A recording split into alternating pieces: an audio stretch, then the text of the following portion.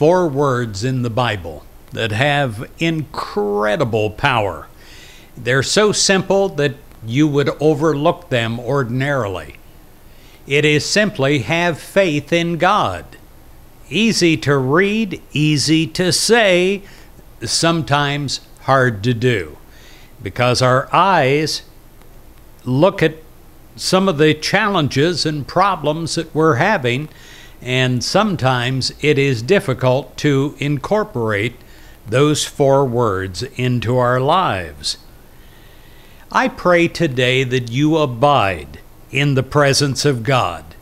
I pray today that you're filled with faith and you're enfolded in God's help.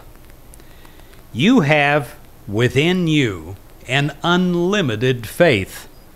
Even so, you have to draw on this faith so that the circumstances don't make you forget that God is always with you. God is a very real presence in your life. God is your help in every need. Let us know in our hearts that God's loving presence will strengthen and guide us through anything that we can possibly encounter this day. At all times and in every circumstance, the presence of God is with you. Your faith assures you that you're always protected and guided by the light of God.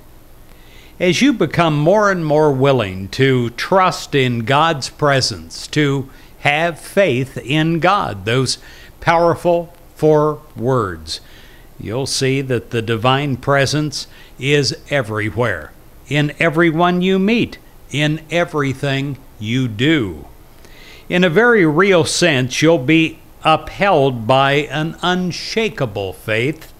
You will live in the presence of God's infinite help.